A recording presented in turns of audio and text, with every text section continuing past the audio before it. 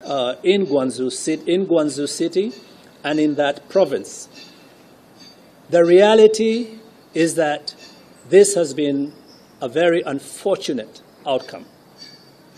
Africans, Kenyans included, have been discriminated against in the process of the government's response, the provincial government's response to trying to mop up uh, the situation that they are facing there post the crisis that they had over the last few months.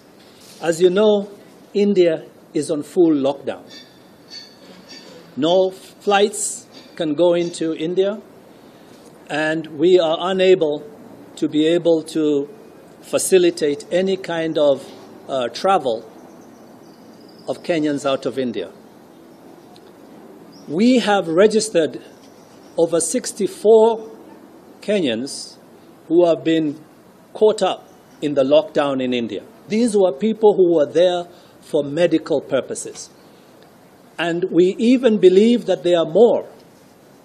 Our estimate is that we have about 160 Kenyans who have found themselves on the wrong side of the lockdown in India.